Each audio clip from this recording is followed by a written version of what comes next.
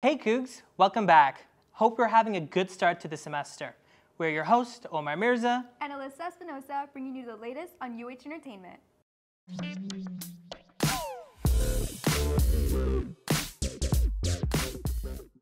As some of us may know, last Wednesday was the beginning of New York Fashion Week, a week packed with watching our fave luxury brands put out some chic and sometimes questionable fashion statements.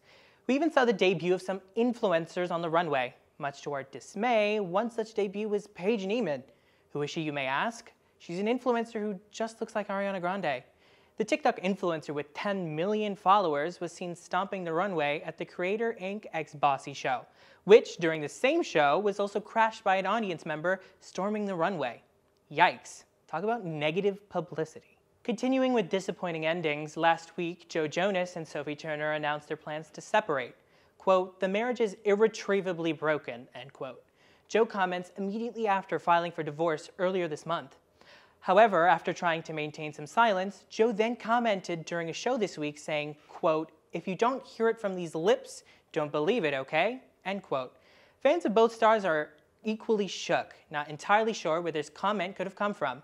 Not much has been said as to why the pair decided to split or what's to happen to the former couple's children. A comment earlier this week during an interview, Sophie states, quote, we have mutually decided to amicably end our marriage, end quote. Best of luck to both stars and whatever may come after. Let's hope you don't live under a rock and have heard of the three-time Grammy Award-winning singer Olivia Rodrigo. Well, last Friday, she released her newest album, Guts, which featured viral songs like Vampire and Bad Idea, Right?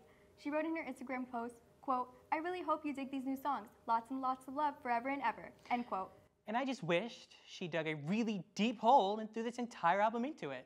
Despite what Omar thinks, it has been highly rated by critics and has gotten an even higher rating than her first album, Sour, by Metacritic. I would say that this album is definitely worth the listen. It's perfect for teenage girls in their 20s. Speaking of Miss Olivia, she also performed at the 2023 VMAs on Tuesday along with Nicki Minaj, Cardi B, Megan Thee Stallion, Doja Cat, Karol G, and Shakira. Now, I don't know about y'all, but I thought something crazy would go down between Nicki Minaj and Cardi B, but they decided to keep things professional. Nonetheless, Taylor Swift swept the VMAs with a record win of nine awards, including the four major categories Artist of the Year, Video of the Year, Album of the Year, and Song of the Year.